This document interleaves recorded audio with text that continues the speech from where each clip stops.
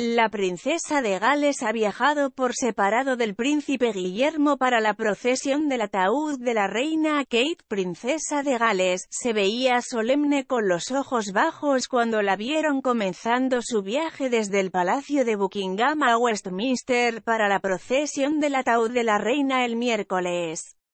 La nueva princesa de Gales, vestida completamente de negro, salió del palacio en automóvil con Camilla, la reina consorte, mientras su esposo, el príncipe William, emprendió el viaje a pie. La princesa de Gales luego se paró junto al duque de Kent, el príncipe Michael de Kent, la duquesa de Sussex y Sophie, la condesa de Wessex cuando el ataúd de la reina entró en Westminster Hall. El rey y los principales miembros de la realeza saludaron el ataúd mientras lo llevaba un grupo de portadores y ocho soldados de la Guardia de Granaderos del primer batallón de la Compañía de la Reina, al salón. El príncipe de Gales de 40 años, realizó el solemne viaje junto a su padre, el rey Carlos III. A los hijos de la reina también se unen el príncipe Harry, Peter Phillips y el esposo de la princesa Anna, el vicealmirante Sir Timothy Lawrence. También en la procesión detrás del ataúd están el duque de Gloucester y el conde de Snowdon.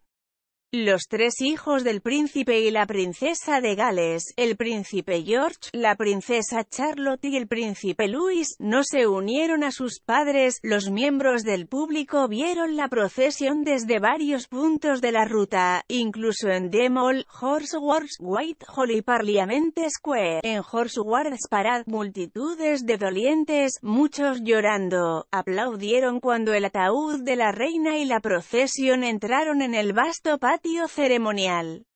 El ataúd de la reina se movió bajo el arco de los guardias montados brevemente fuera de la luz del sol antes de llegar a Whitehall.